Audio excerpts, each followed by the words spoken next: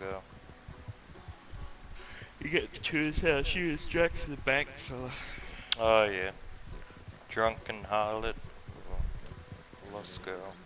Oh fuck! Oh shit!